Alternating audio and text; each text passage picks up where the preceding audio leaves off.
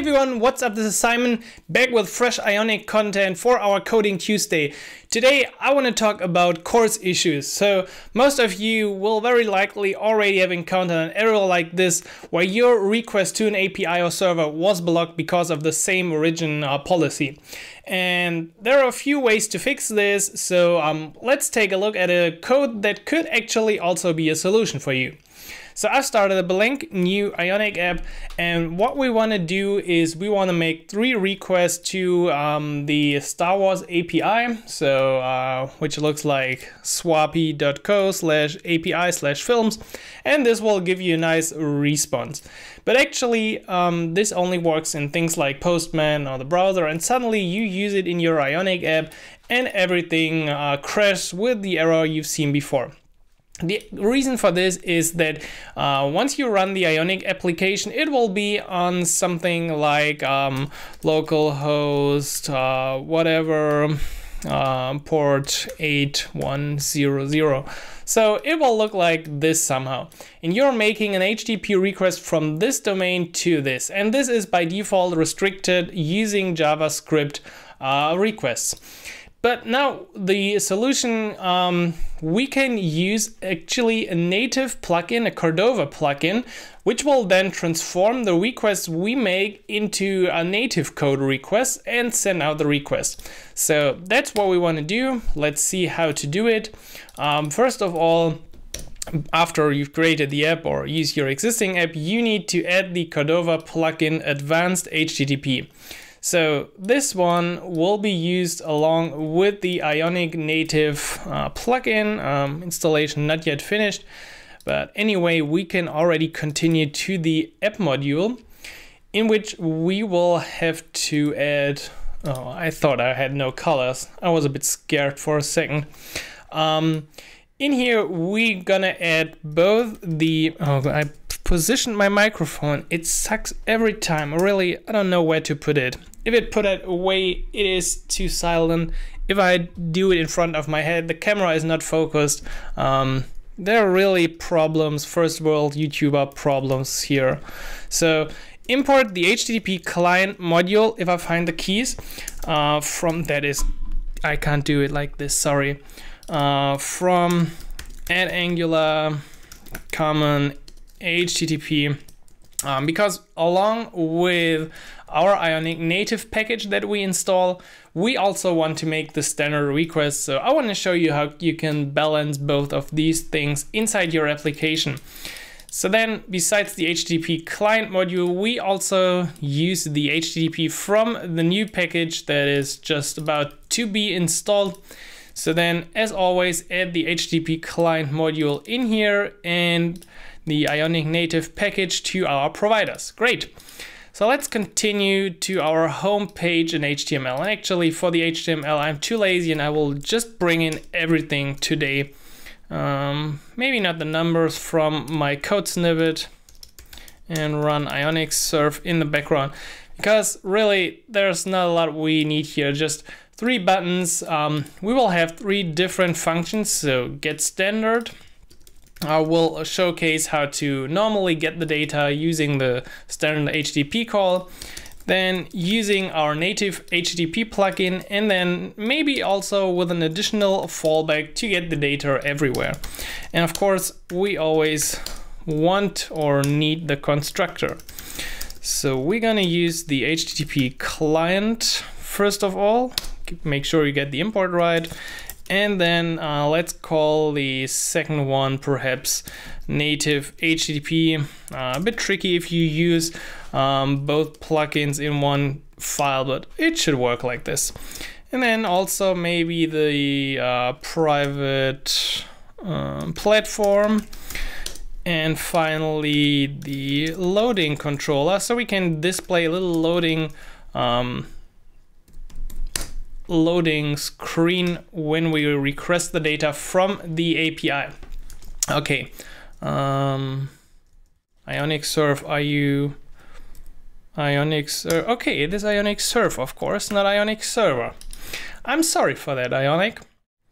Um, what I wanted to say is we just got the list below with some data of the films. So that's what we request from the API. It's actually a snippet from the Ionic crash course. You can find the link below the video. And of course, if you haven't done so, um, uh, well, yes.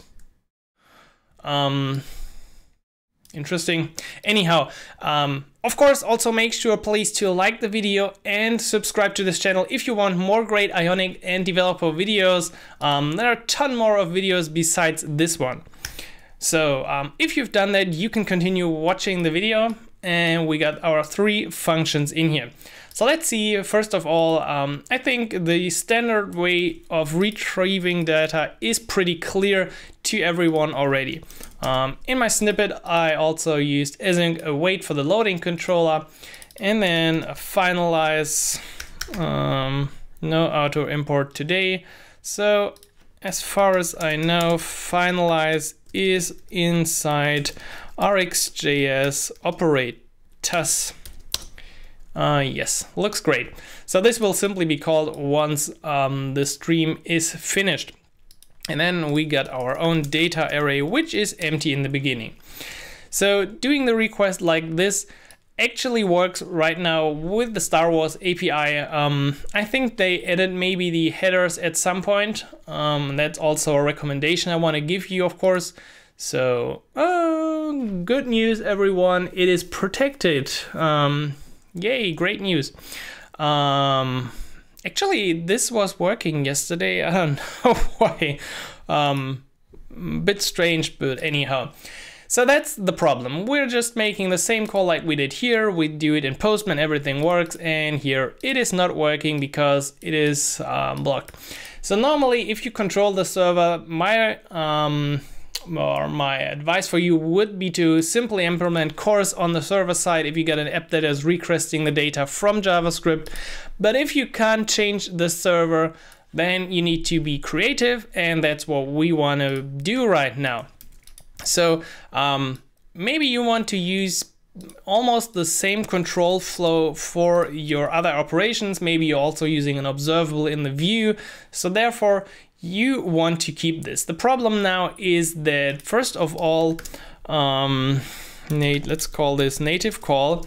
Um, if we use our HTTP plugin to make a GET request, um, this will return a promise. So in the end, we have to return or convert the promise to an observable. So that's problem number one. Um, the second problem is that the data returned in here is actually sometimes not really formatted um, accordingly to JSON. So what I tried was um, no parameters, but for this one we will add um, content type application JSON, uh, of which I'm actually not sure if it made a huge difference. Um, and then also uh, once we get the data, uh, which we will somehow get, um, we need to convert the data a bit by using JSON parse data.data. .data. So, um, and what we want to pipe is now we need a new observable and to get an observable from a promise, which is promise because you can see the then right here is by using from. So auto import actually works and then put the native call in and this expression becomes suddenly an observable that we can pipe as well, finalize, uh, hit the, hide the loading. And in here, maybe we can also console log native data as well. And then we will see that this property, actually this object is already JSON, but this is not, and this contains the actual information that we need. So if you want to use your code on both um, the web and the mobile application, which is the get data everywhere function, you could simply make a check if this dot platform is Cordova and then um, call get native data and otherwise oh, you could do this actually in one line I'm maybe I do it maybe uh, uh, I want to do it can we do it? Yes, please. Let's just do this. Um, does this work? I don't know. Let's see. Um, hmm. Looks good. Okay, so we did it in one line now. Um, yeah, I don't know why, I just like to do that expression. Um, the problem now is that the first call is not working because of CORS issues and the second is not working because we're using Cordova in the browser and the third is not working because we are redirecting to the first.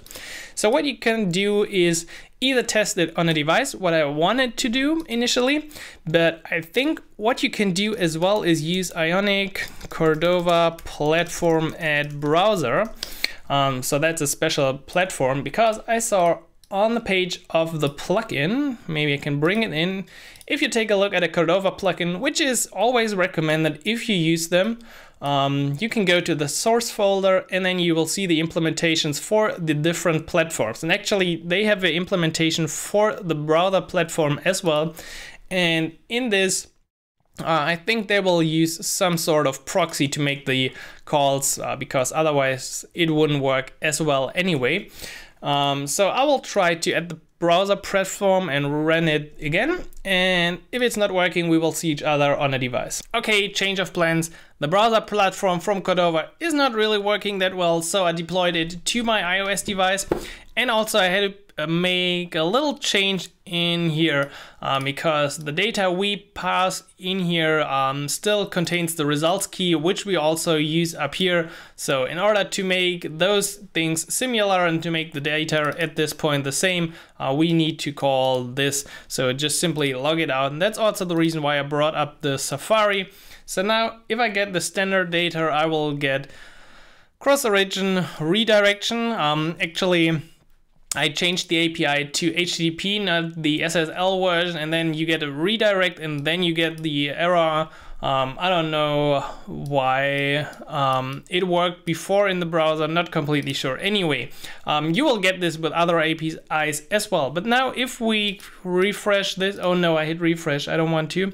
Um, if we get the native data, we see this is the native data. And this right here is also the problem. I hope this is not above my head. No, my head should be there. So um, the native data in here is still a string. That's why we parse it. And then we also need to access the results. And then we can finally display the data. And also if we make the call to get data everywhere on the platform, it will make the Cordova call and everything will just work.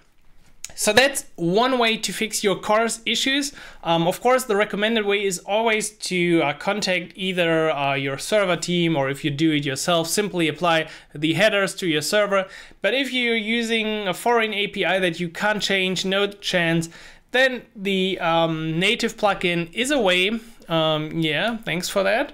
Um, the native plugin is a way to prevent this by transforming your JavaScript HTTP calls to native HTTP calls. And if you enjoyed this video, of course, like always, make sure to like it, make sure to subscribe to the channel, check out my Ionic Academy and all the other great videos in here, and I hope to see you inside the next one.